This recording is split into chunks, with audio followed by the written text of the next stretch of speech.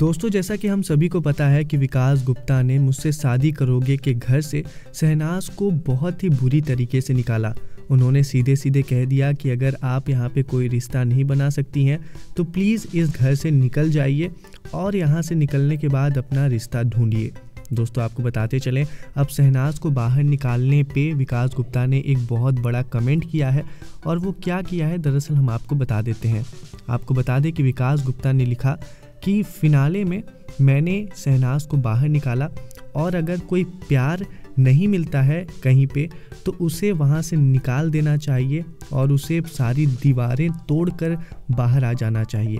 जैसे कि D D L J के स्टाइल में हुआ था और ये जर्नी मुझसे शादी करोगे का जो पूरा सीन था, वो आज ख़त्म हुआ और शहनाज को मैंने बाहर निकाल दिया घर से ताकि शहनाज नाज के आगे सीड लगा सके और अपने सिद्धार्थ के पास जा सके।